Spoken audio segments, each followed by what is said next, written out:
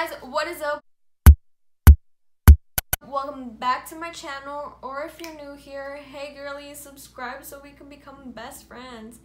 Well, in today's video, I'm just to be showing y'all some of the makeup that I bought recently. Like, I ordered stuff online two weeks ago, and they barely came in last week, but I just never had the chance to record or make this video.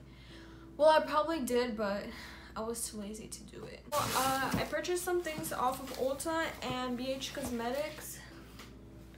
By now, I could have gotten myself a camera, but I didn't. I got makeup instead. I'll just be showing you guys uh, what I got from Ulta first. So the first thing that I bought from Ulta was this uh, Beauty Blender kit, which comes with two original beauty blenders and a cleanser thing. This retails for $45, I think. Cleanser by itself, I saw that it retails for like $18. I'm not quite sure, but it's not the, I don't know if it's original size. I was gonna go for the Real Techniques uh, sponges, but I was like, go big or go home, so I purchased the Beauty Blender kit. The next thing that I purchased was the HD Studio Photogenic Concealer in the shade or CW04. I'm currently wearing it right now. I don't know if you guys could tell, but it's like, it's really lightweight. I think it's a good drugstore concealer.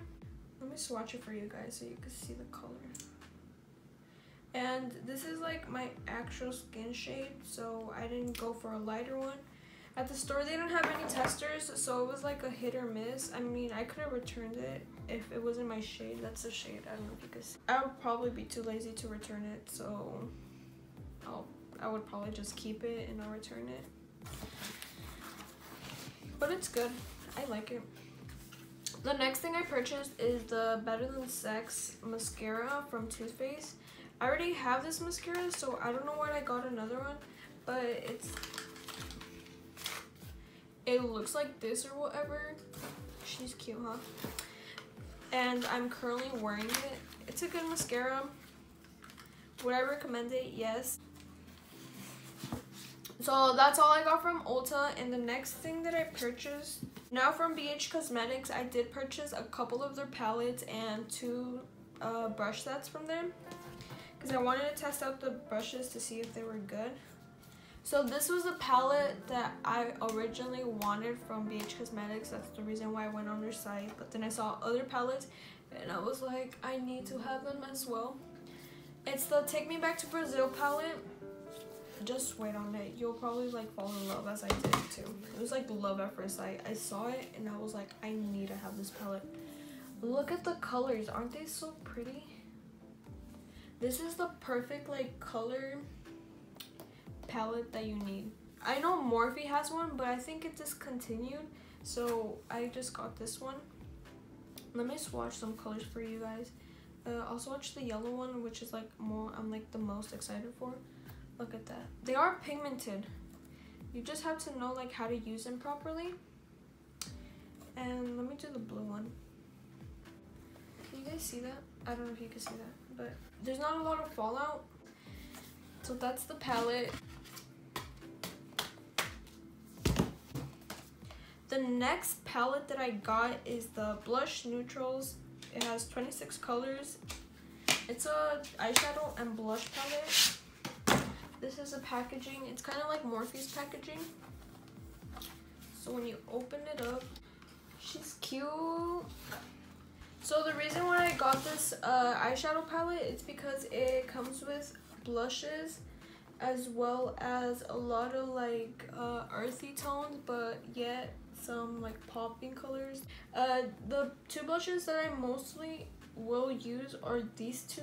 I don't think I'll use this these two. Probably just for eyeshadows. But it's because the colors are really dark and I'll probably use this for like eyeshadow base.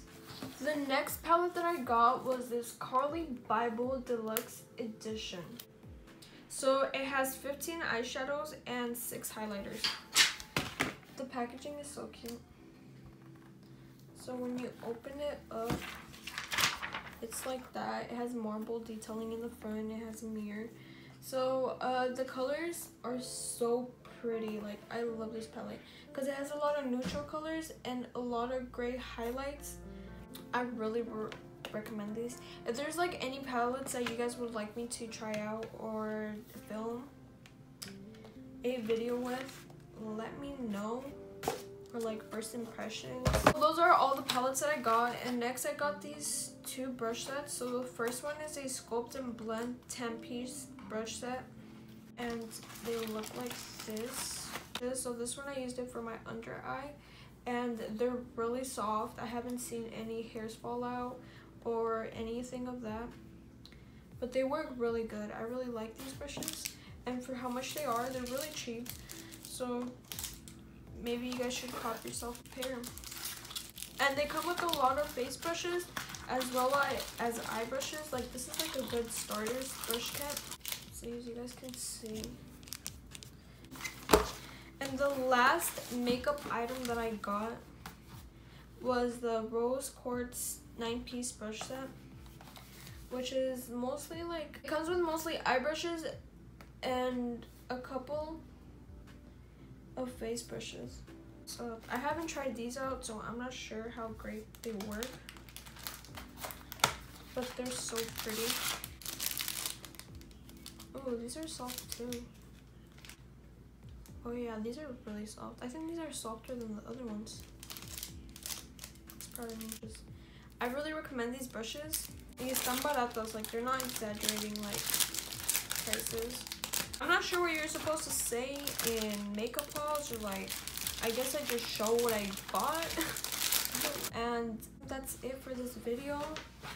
If you guys enjoyed, don't forget to subscribe, comment, like, all those things.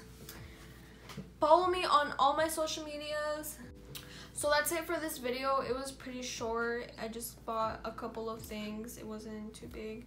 And I just hope you guys enjoyed. And don't forget to subscribe, like, and comment, and turn on your post notifications to see when I upload.